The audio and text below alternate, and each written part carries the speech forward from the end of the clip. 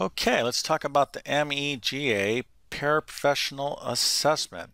So if you're watching this particular video, I assume that you are studying to become a paraprofessional in the great state of Missouri. So congratulations on that. And uh, on the paraprofessional assessment um, will be a considerable amount of math. So you definitely want to be ready for the math that will be on there. And uh, what I got here is a quick little practice problem, but it's certainly not all inclusive um, in terms of the math that you need to know. But before we get going, um, a little bit about myself. Uh, my name is John. I'm the founder of TabletClass Math. I'm a middle and high school math teacher, and my online math programs have helped uh, many, many people through the years um, all over the world, but mostly United States and online uh, courses. I've done a tremendous amount of different types. I actually um, have an MEGA paraprofessional math test prep course. So if you like my teaching style and you want to really, you know, kind of see my best work for this particular assessment, I'm going to leave a link to that course in the description of this video. But with that being said, I got a little kind of pop quiz here for you.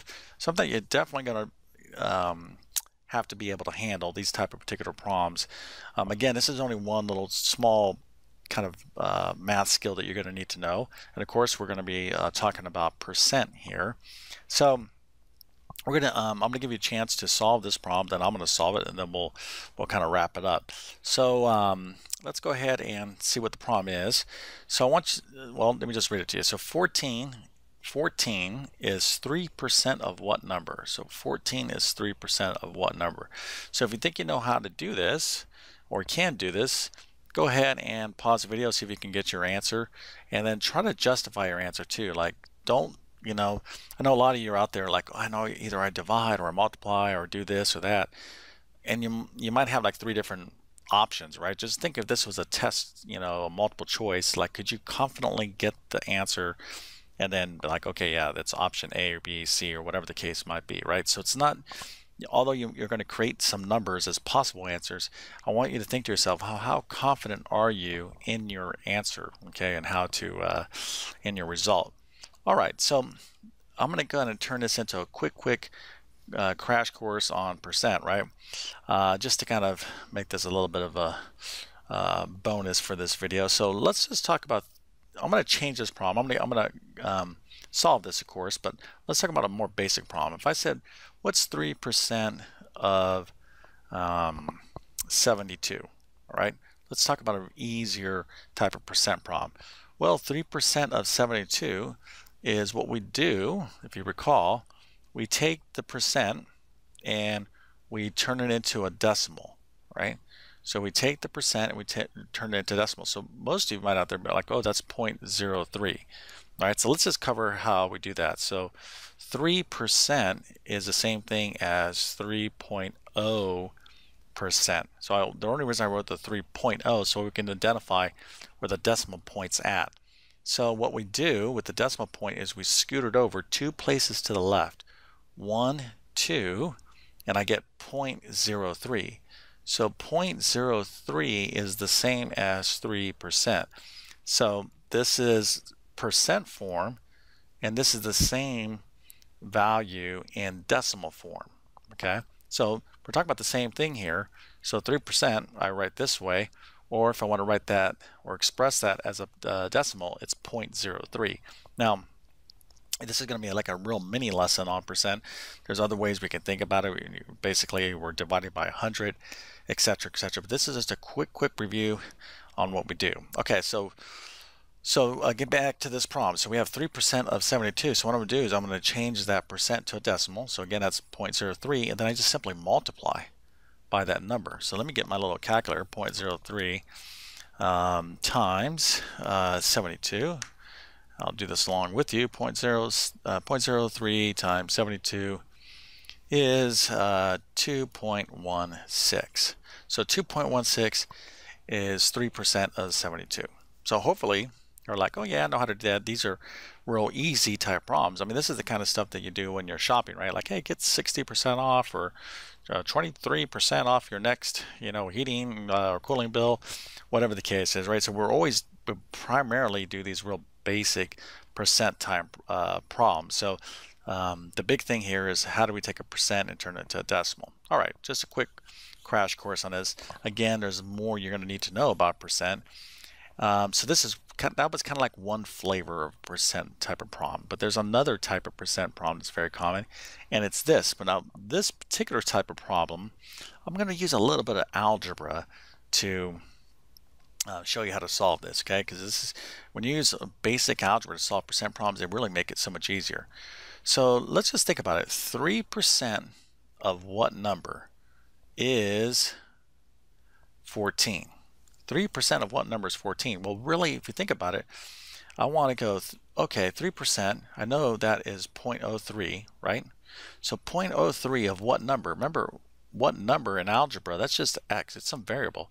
So 0.03 times some number, I don't know what it is, but in algebra, it's 0.03 times some number, let's just call it x, all right, is, is, that word is, always means equal in math is equal to 14. So I want you to look at this equation and compare it to this little problem. 14 is 3% of what number? So 3% of what number? Remember 0.03 times whatever that number is. It's a mystery number, right? So 0.03, I know I know if I knew what that number was, I would just go, oh, okay, 0.03 times that number, and my answer is going to be 14. So take a look at this uh, this um, construction and see if you can kind of like get your brain wrapped around what you're seeing here. Because this is going to be important for you to understand uh, as a paraprofessional okay?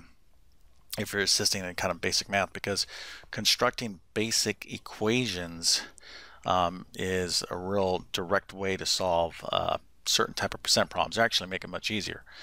Okay so if you understand this, you're like, oh, okay, I get this. Now, by the way, before I go any further, if you got this problem correct and you did it in your own way confidently, then stick with that way. Okay, but you still need to know or understand how to take a statement and construct a, an, a, uh, an equation out of it. Okay, so but again, let me just uh, have a little quick disclosure here.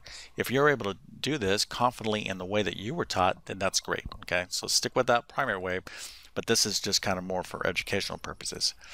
All right, so let's uh, continue on. So I have this basic equation, 0.03 times x equals 14. So let me give you an easier equation. If I had 3 times x, so 3x equals 14, how would I solve for x? Well, hopefully, this is something you're absolutely going to need to know for the professional exam here. You're going to have to divide both sides by 3. So x would be equal to 14 divided by 3. So in this case, to solve for x, all I do is divide both sides of this equation by 0.03. Okay, so we're going to our handy calculator. Let me get mine out. We're going to take 14 and we're going to divide it by 0.03. Let me go ahead and do that now. 14 divided by 0.03 is approximately uh, 4 466, well, this is called 0.6.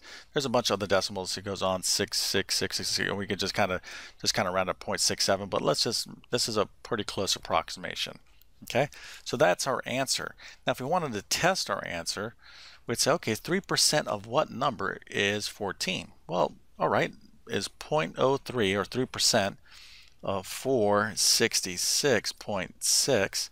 What is that in our calculator. So when we see 0.03 times 466.6, it equals approximately 13.998. It's not going to be precise because this has much more decimals here, but you can see that's pretty close to 14. So that is our approximate answer. Okay.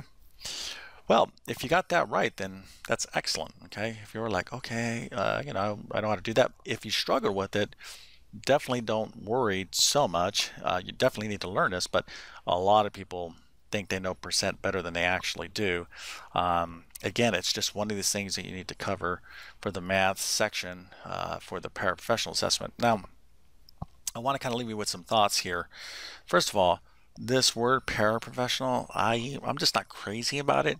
I know that's what they're called you know uh, uh, but you're you know the real the para part uh, almost kind of it's almost like kind of semi-professional.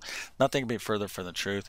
Believe me as a teacher myself uh, classroom teacher teaching for many years you know, people are in a classroom helping out are, are tremendous, you know, um, assets to the educational system. You are a professional, and that's why you need to go through, just like a teacher does, and takes assessment or certification exams. Don't underestimate them. Okay, uh, really study uh, hard because these you know assessments are, are there to really you know kind of make sure that the people are going to be involved in educating uh, students, you know, have solid basic skills, of which math is one. It's probably the one that gives the uh, most people the most difficulty. Um, but again, you know, the purpose of this video was to kind of encourage you, one, and two, give you some advice on um, how to prepare. So let's go ahead and wrap up this video. Um, so if you like my teaching style, I'm going to give you two things here. Uh, of course, I'm going to leave the link to my full MEGA uh, paraprofessional math test prep course in the description of this video. I've been on YouTube for 12 plus years. Um, I literally have hundreds and hundreds of videos on my channel in various playlists that will definitely help you out with this assessment. So hopefully you'll subscribe and check that out. I'm posting all the time, by the way. Hey, if you like this video, definitely appreciate a thumbs up and leave me some feedback. Uh, what's kind of drawing you in to become a paraprofessional? Um, you know, uh, are you thinking that one day you'd like to become a teacher? You know, um, I know a lot of paraprofessionals that have uh, later become teachers. I think that's something that's, I think it's a good approach, honestly. Uh, because it's a gigantic commitment to become a teacher. I mean, with all the education and, and exams, it's you know you, the degrees and everything else. But I guess if you had an opportunity to become a professional, and become involved in education, get experience working with students, seeing that, and then really kind of honing in on what you like. I think that's a good approach as well. So let me know what your uh, kind of career aspirations are, or, or maybe you know anything, any kind of feedback would be good. Are you are you struggling on a paraprofessional assessment? Are you trying it more than once? I will say this much too: if you're taking this assessment more because you failed it once or twice, don't don't let that bringing you down, okay? There's plenty of teachers that have to take assessment or certification exams more than once. It's not uncommon, okay? There's particular assessments out there. I know the one that I think I had to take for um, high school level mathematics, like, you know, 40, 50% of the people failed it the first time out. So don't get discouraged. The thing is, though, get organized and really, you know, get committed to a, a solid study plan and you'll definitely make it. But with that being said, I definitely wish you all the best in your educational career, whatever that might look like. And um, hope this little video helped you out. Thank you for your time and have a great day.